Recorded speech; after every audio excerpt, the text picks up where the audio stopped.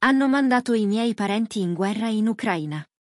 In un post su Instagram, l'avvocato per i diritti umani ceceno ed in esilio, Abubakar Yangulbaev, ha affermato che le autorità della sua regione hanno costretto quattro suoi più stretti parenti maschi ad andare al fronte nella regione ucraina di Donetsk occupata dai russi.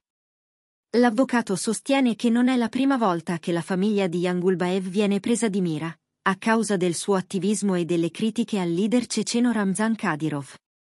A luglio, un tribunale ceceno ha condannato la madre a cinque anni e mezzo di carcere, in quello che i gruppi per i diritti umani hanno definito un atto di ritorsione contro Yangulbaev e i suoi due fratelli, tutti noti ed attivi critici di Kadyrov.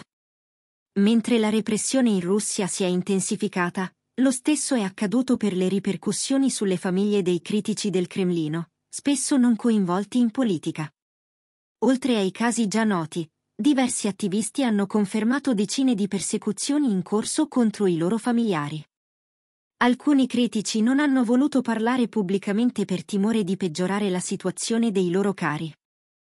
Le autorità russe costruiscono da anni il quadro normativo per zittire i dissidenti. Con l'invasione dell'Ucraina, questi sforzi hanno raggiunto una nuova intensità, culminando in leggi di censura bellica che potrebbero condannare qualsiasi critico a pene detentive lunghe. Nonostante abbia ampie vie legali per ridurre al silenzio i critici, Mosca ricorre spesso a metodi extragiudiziari. Le molestie e il perseguimento dei familiari stretti e lontani sono da tempo usati per esercitare pressioni improprie. Queste tattiche colpiscono soprattutto chi continua il proprio lavoro dall'estero ma ha ancora parenti in Russia. Sospettavamo che questo rischio esistesse, ma ho sempre cercato di convincerci che non eravamo alla pari di Navalny, afferma l'attivista Victoria Maladaeva, che ha coordinato l'aiuto ai renitenti alla leva durante la mobilitazione. Il lavoro ha attirato l'attenzione delle autorità locali.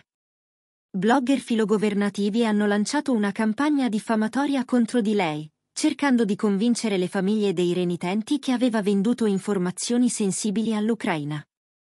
Alcuni ci hanno creduto e si sono arrabbiati, dice Maladaeva.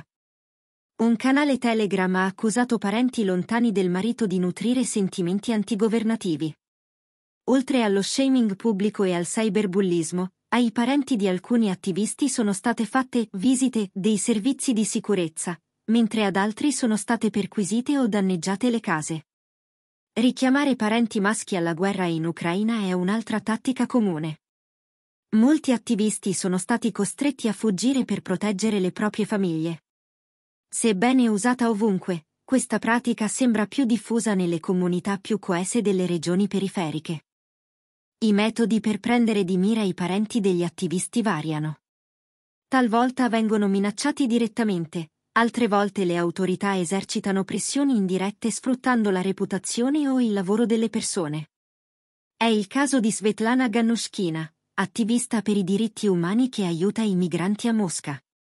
Suo figlio ha subito controlli fiscali improvvisi e rovinosi nella sua attività commerciale. Era chiaro che volessero colpire me attraverso di lui, racconta.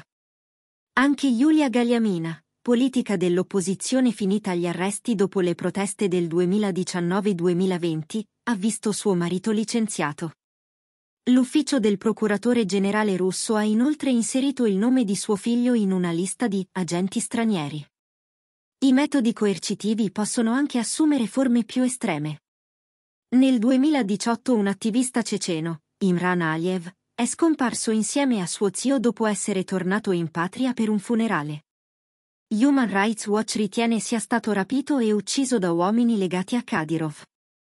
Nel frattempo, una proposta di legge potrebbe rendere punibile con il carcere insultare o diffamare membri della famiglia di un pubblico ufficiale. Un'ulteriore restrizione alla libertà di espressione che protegge ancor di più il potere.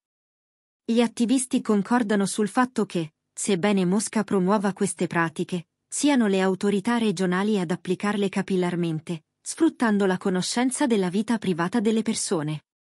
Chi si oppone al sistema sa di mettere in pericolo non solo se stesso, ma chi gli è più caro.